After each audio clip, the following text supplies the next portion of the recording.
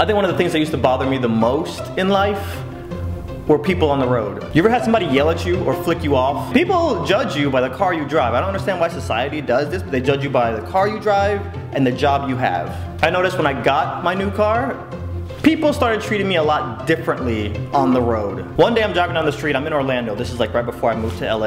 I look up in my rearview mirror, I see this truck flying up on me. To my right, I can't really do anything because there's another car like matching my speed. I'm in the fast lane, so I try to speed up to get out of the truck's way. This truck was too impatient, just cut over. We both pass the middle car and we pull up to a red light. As we pull up to the light, the truck turns and gets in the lane right next to me. And then all of a sudden I hear, hey! So I look over and I see this guy sitting there with no shirt on. And I'm like, what's up? For somebody who has such a nice car, you drive way too slow. This truck is full of dudes with no shirts on. And then I noticed my boy Christian is sitting in the middle back seat. Okay, Christian and his friends want to clown me, I get it. I look forward and I realize the entire road in both directions is completely empty. Look back over at the guy and I'm like, tell you what, I drive slow, how about I race you to the next light?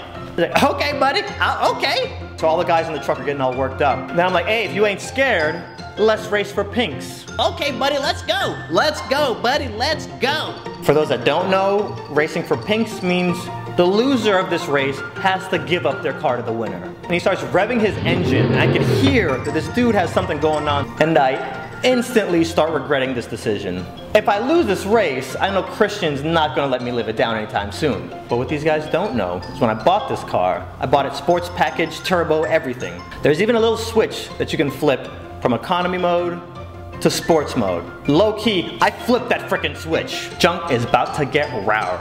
As soon as our light turns from red to green, boom! My car jumped out the line like into a papa wheelie. I felt like I was in Fast and Furious 12. All you hear from my car is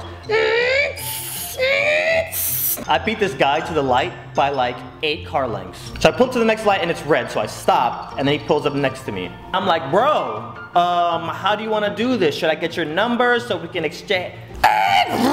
He turns and like books down the side road. Following a bunch of topless guys in a truck down some side road, probably not a good idea. So I get home and like around 10 o'clock that night, I was thinking to myself, you know what, let me hit up Christian and like play this through. Take out my phone and I call him, I'm like, hey yo, what's up with your boy? And Christian's like, who? Your boy that was driving the truck. What truck? The guy that I raced? You were in the back seat? None of this sounds familiar. That wasn't me. Like, I woke up this morning, I went to class, and I came straight home. So basically, somebody in Orlando owes me a truck. And I also want to say two things real quick. I've had some friends with nice cars who race, and it only takes one time. He was racing somebody, crashed, and lost two of his fingers. You can hurt yourself or the people around you from racing. If you guys take away anything from this story, I also want you to keep that in mind. However, comma, if any of you guys in the Orlando area see a white truck driving around full of dudes with no shirts on, let them know I haven't forgot.